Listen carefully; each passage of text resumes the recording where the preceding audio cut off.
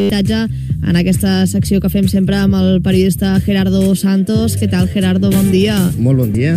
Doncs uh, parlem d'aquest dret com una casa, aquesta secció doncs, uh, que fem els dimarts i per començar avui anem cap a l'Eixample barceloní, és així, no? Sí, al, al carrer Aragó, cantonada Padilla, eh, allà la plataforma d'afectats per l'hipoteca denuncia que la promotora Norbet, propietària de l'edifici del carrer Aragó 477, vol desnonar quatre famílies que hi viuen. La data prevista pel llançament és el 15 d'octubre de l'any passat. I com es tracta d'un gran propietari, en aquest cas Norbet, i segons la llei, l'empresa està obligada a oferir lloguer social a les famílies afectades. Però això, això no, però, sé si no està passant, em sembla, no? No està passant i per això la plataforma d'afectats per l'hipoteca està duent a terme una campanya per denunciar-ho. Tenim en Josep Babot, que és eh, portaveu de la PA, al telèfon. Bon dia, Josep. Molt bon dia. Aviam, què és el que exigiu de les administracions en aquest cas?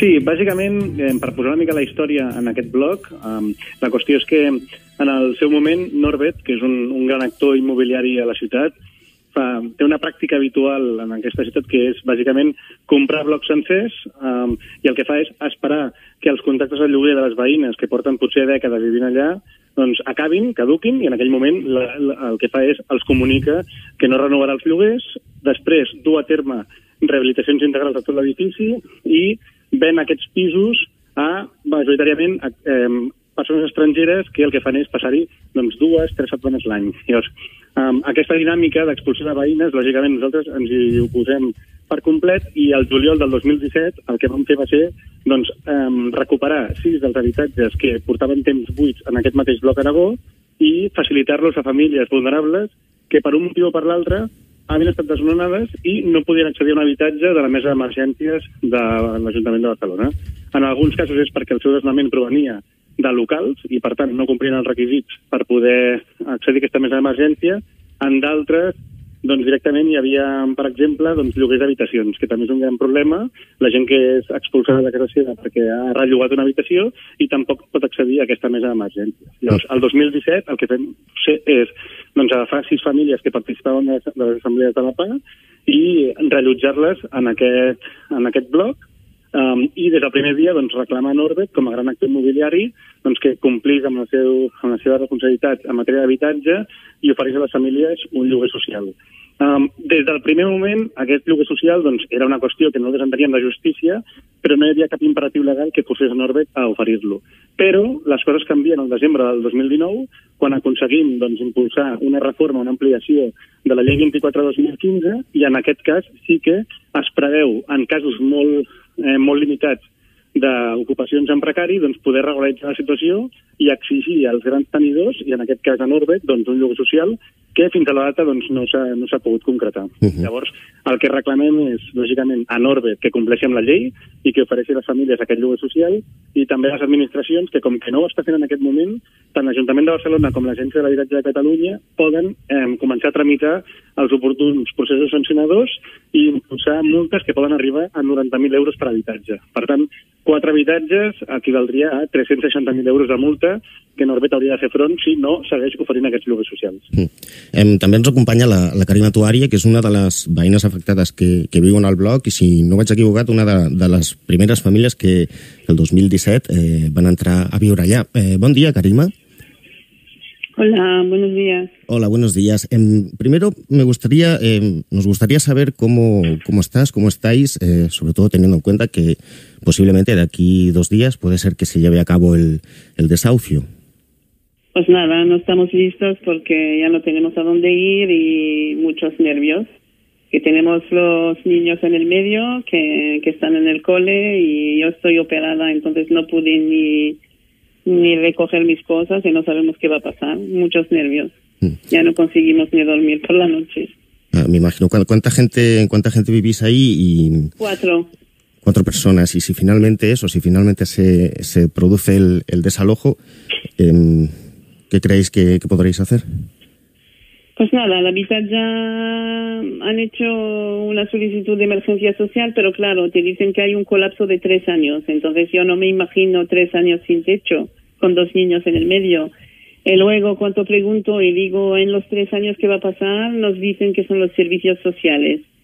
Y los servicios sociales, claro, dicen que no pueden hacer nada. Entonces ya ni las administraciones están implicadas, ni, ni nada, y no sabemos qué hacer, la verdad. Contamos con el apoyo de la PA, lo que, que queda, nada más, a ver si lo pueden parar. Es la única fe que tenemos. Porque tú, Karima, hace, hace, bueno, hace tres años eh, sufriste otro, otro, otro desalojo antes de, de venir a, Sí, a vivir sí. a la calle Aragón. Sí, sí, sí. Yo ya llevo 21 años aquí en Barcelona. Me cogí un pequeño negocio, negocio que era una frutería con vivienda. Lo arreglé todo con mi dinero, con traspaso, alquiler y todo. Y me han hecho una jugada. Salió una ley que beneficia al propietario. Se ha muerto el propietario y me lo quitaron todo. Todo lo que he trabajado se ha ido. Entonces era una pesadilla tan grande. Me veía en la calle con dos pequeños y gracias a la PA me han dado este realojo. Entonces, desde el 2017 no podemos decir que tuvimos una vida normal porque Norbert eh, no ha hecho la vida imposible.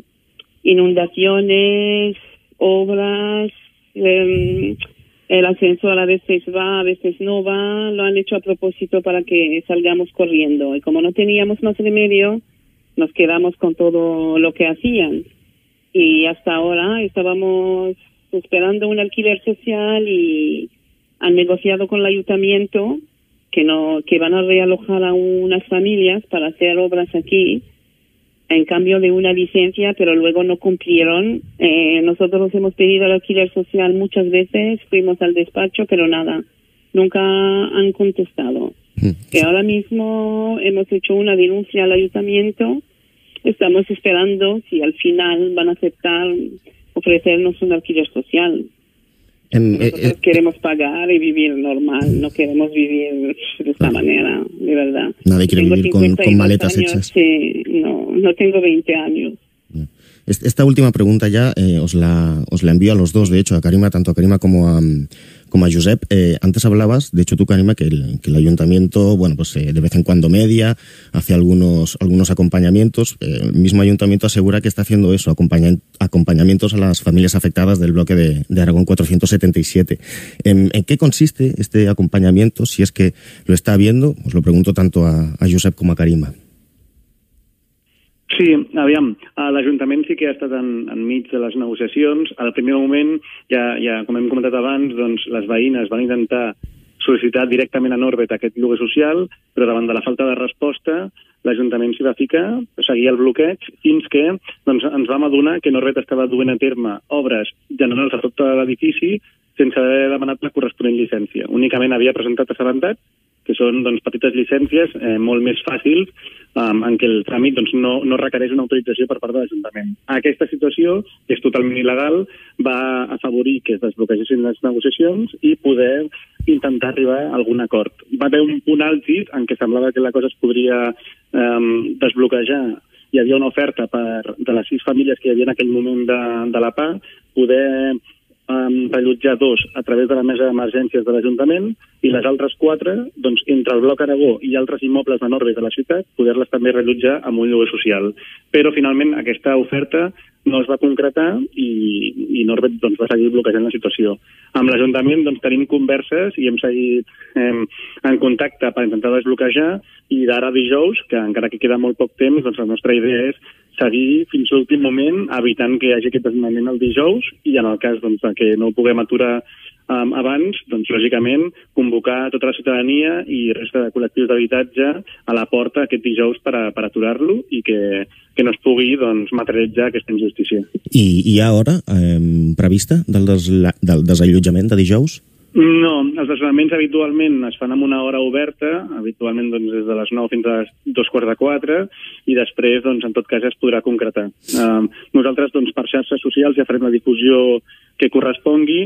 Sí que és veritat, i això sí que s'ha de denunciar públicament, doncs, que últimament, um, des de la tornada de vacances, hi ha hagut un canvi evident en la forma d'actuar de la, del cos de Mossos d'Esquadra, hi ha molta més agressivitat per part dels cossos, es convoca molt, molt abans de les portes, es tallen carrers, es convoquen moltes unitats d'antiavalots i contra això també sabem que hem de lluitar, però ho, ho farem de la forma que ho hem fet sempre, de forma pacífica, a través de la desobediència civil i sempre doncs, avantposant aquest dret a l'habitatge que sempre defensem davant doncs, el lucre d'aquests grans actors immobiliaris que l'únic que busquen és l'expulsió de les veïnes dels seus barris um, a través d'això, de, de la venda a un preu inassumible per les famílies que portem dècades vivint a la ciutat. I a què, a què, deus que, a què creus que és debut, eh, Josep, aquest augment que, que esteu percebent després de la tornada d'estiu, de més presència policial, dius? No, això dona per un debat molt llarg. Jo suposo que hi ha diferents teories. Hi ha una part que és certa, que és que um, l'aturada de jutjats durant la pandèmia doncs el que va fer va ser acumular molts desnonaments que s'havien d'haver produït durant els mesos de març, abril, maig, etc i que van quedar doncs, a, a una llista d'espera, com si diguéssim, i entenem doncs, que s'està intentant desbloquejar això i que les coses vagin més ràpides de les que anaven abans, i per l'altra també hi ha hagut un canvi de conseller. Llavors, potser entre les dues qüestions tens algun tipus de, de, de pista de per on van.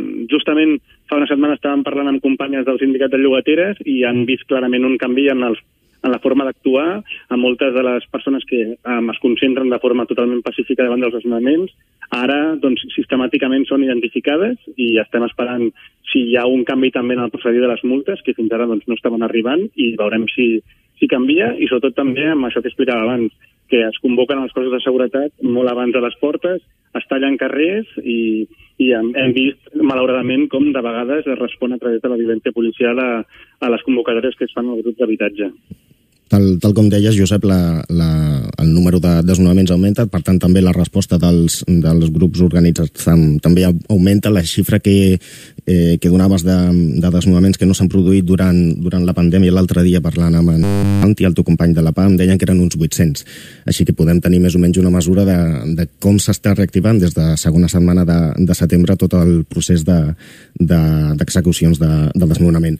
En tot cas, Carima, Josep, moltes gràcies per explicar-nos la història d'aquest blog i, i de la gent que hi viu. Estarem atentes aquest dijous, demà passat, data en què està programat el desallotjament d'Aragó 477. Gràcies a tots dos i gràcies. passeu bon dia.